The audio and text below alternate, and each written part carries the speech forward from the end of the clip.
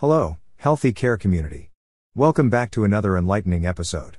Today, we're tackling a topic that's been puzzling scientists the connection between HIV and heart disease. 1. The basics HIV and heart disease. Did you know that having HIV may increase the likelihood of heart disease? Heart disease encompasses various conditions, often linked to the buildup of plaque in artery walls, restricting blood flow.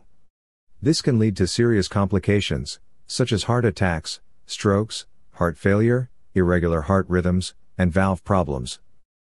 2. Why does HIV raise your chances? Now, you might be wondering, why does having HIV elevate the risk of heart disease? Initially, scientists suspected antiretroviral therapy, ART, the primary treatment for HIV, might be the culprit. However, recent findings indicate that consistent ART users actually show better heart health. The current hypothesis revolves around HIV potentially triggering an increased immune system response, causing inflammation in the body's tissues. This inflammation, in turn, contributes to the buildup of plaque in blood vessels, the primary instigator of heart disease. Keep in mind, though, research in this area is still in its early stages. 3. How much does your risk go up? For those with HIV, the odds of experiencing a heart attack or stroke are 1.5 to 2 times higher than those without the virus. Even if you maintain a low viral load with antiretroviral therapy and lack other risk factors like diabetes, the increased risk persists. Studies suggest that white blood cell count, particularly CD4 and CD8 cells, may play a role in this heightened risk. Imbalances in these cells could contribute to the development of plaque in arteries, a significant factor in strokes. 4. Lower your odds.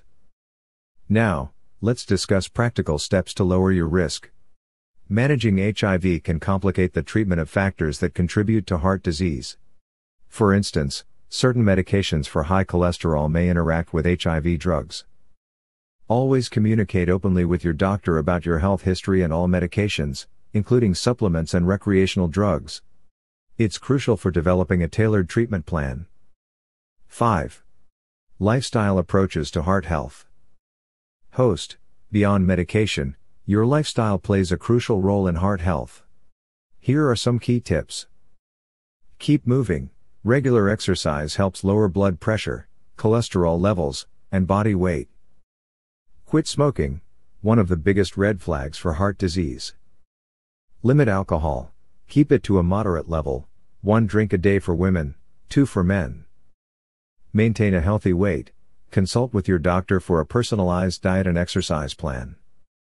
Eat a balanced diet. Provide your body with essential nutrients to combat disease and maintain a healthy weight. That wraps up our exploration of the intriguing link between HIV and heart disease.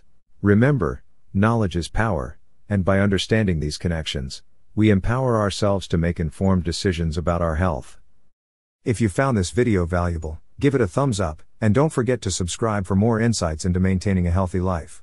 Stay well, stay informed, and until next time, this is Healthy Care, signing off.